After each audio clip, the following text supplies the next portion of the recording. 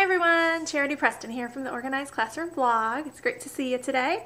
Okay, so today's fun little just quick tip is something that actually someone else brought up on my fan page and I said, wait a minute, I completely do that. I guess I didn't realize not everyone thought of it.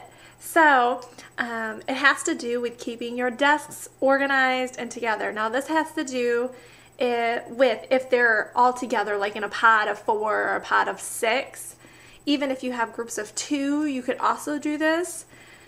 Um, I also have the other video that I've done. You can go back and look for it, the classroom desk straightening classroom desk arrangement straightening tip. I have that as well. Basically, you're just going to be putting tape on the floor to, to be able to straighten your desk because the unruly desks drive me insane. So, one way that I fixed that when I taught third grade was when they were in groups of four, I used zip ties.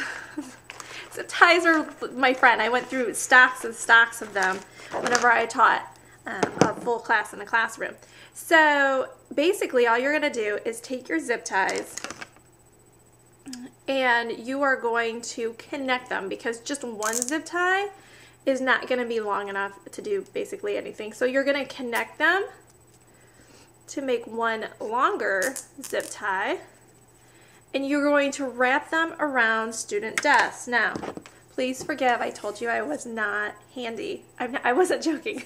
okay, here's my fancy board that I have here.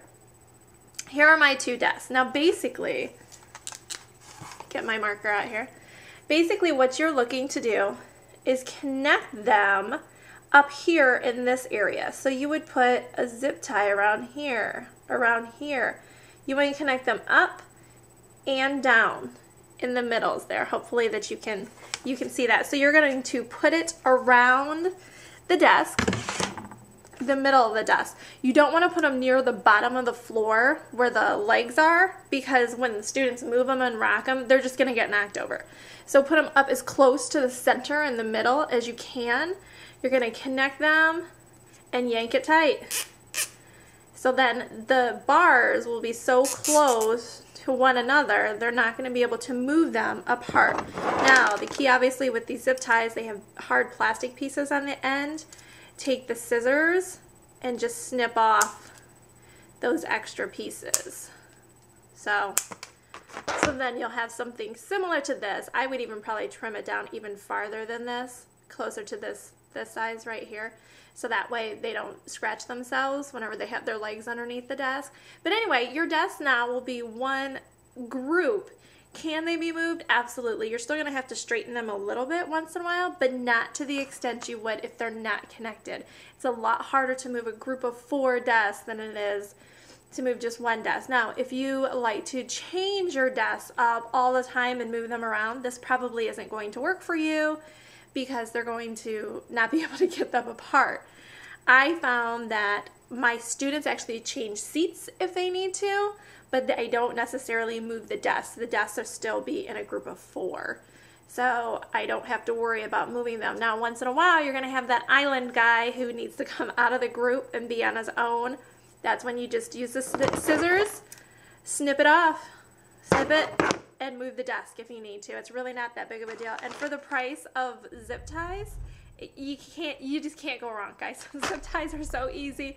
You'll go through tons and tons of them. I suggest the longer ones because obviously you're not going to have to use as many to get around those bars. So anyway, I hope that was helpful to you. I would love to see a comment about it on the blog, the organizedclassroomblog.com. If you go straight down Below this video, if you're in YouTube, you will see the link for the blog post about this and maybe you have a cool tip that you use to keep your desk straightened and not all over the place.